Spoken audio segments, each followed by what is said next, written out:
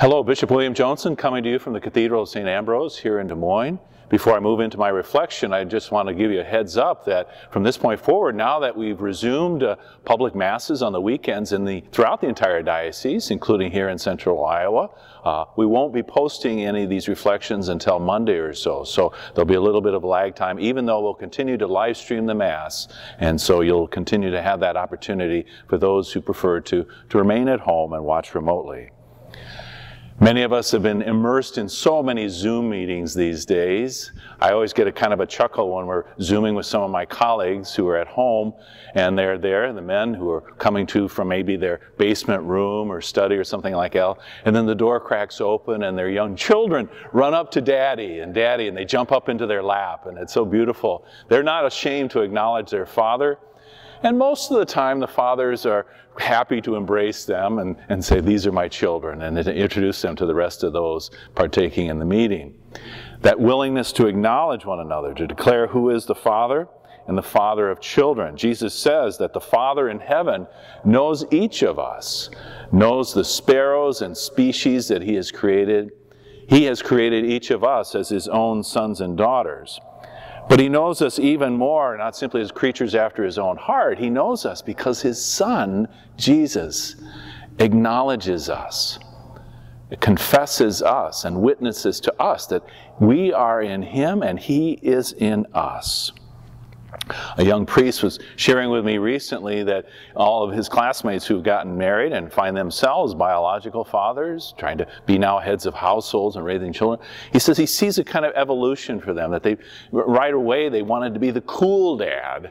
And then after a while, that that kind of falls away, that they're no longer interested in winning the adulation of their kids.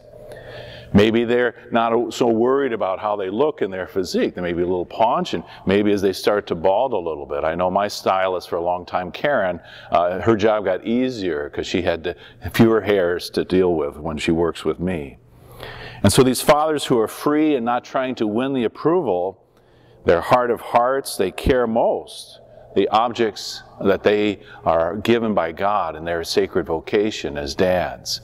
And uh, they're free to do so. They're free to love even when there's friction or there's not a lot of affirmation coming their way, ultimately because they believe themselves to be the objects of God's great care. And from that trust comes great strength, great insight, and tenderness. Fear of Jesus' Father makes us men.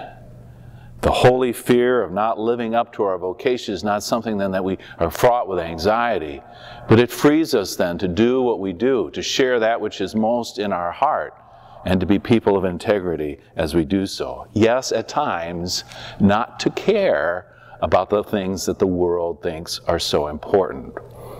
Of course, right now, the society maybe has less care for fathers than it once did.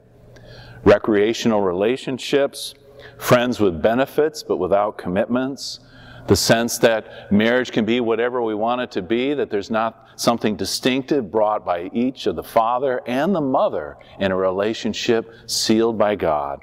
All of these things then leave us with more children, with single moms, and fatherless households. And the result of that is a great sucking sound in our society the sound of trust, the peace of confidence that we are loved by God, that God cares about each of us as his only creation. Luigi Giussani talks about the way in which an integrated person has an intuitive sense of who around him or her can be trusted. He uses the example of being on a train in those moments when maybe we want to step out of the train car and go, oh, and can we trust to leave our luggage there? Will it still be there when we get back? Maybe we'd say in an airport, you know, can we trust that person if we leave our bag there that they won't have the, the bomb squad coming to, to get it? For men who are realizing their vocation, they recognize ultimately, if they're truly integrating their faith with who they are, that they don't trust ultimately in themselves. Hey, I've got this. But that our trust is in the Father of Jesus Christ. And our trust is in the church, the body of believers with whom we must rely upon as we're still coming to full maturity and freedom. We know for some men the struggle with the internet and addictions that might enslave us is something that's a stumbling block for them. Some have enlisted accountability partners, men with whom they reveal their interior life. They do so not so that they might be accused, but they might be embraced and have that partner once in a while remind them who they are, that there's a deeper truth about each of us than that we are sinners, but that we are a beloved son, a beloved daughter of God.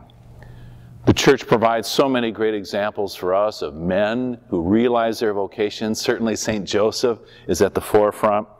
But this week we celebrate the feast of Thomas More as well, that 16th century Chancellor of England who found, found himself in a tough spot in his service of King Henry VIII, who wanted his marriage annulled by the Pope so that he could get remarried.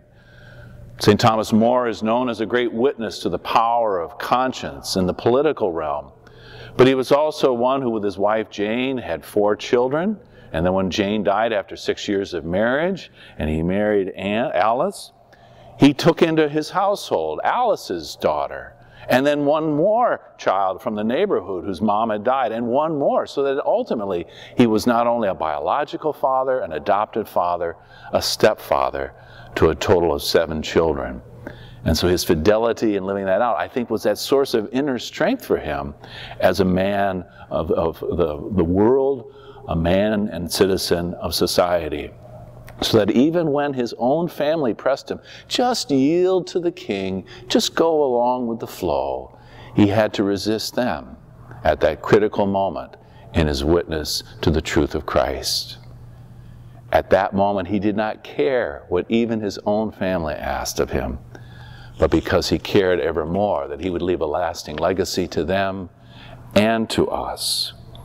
He, he shows the world and reveals to the world that as fathers, that we count on the Son, and that Son is delighted to profess our name before his heavenly Father. Thank you for listening. Let's continue to pray for each other.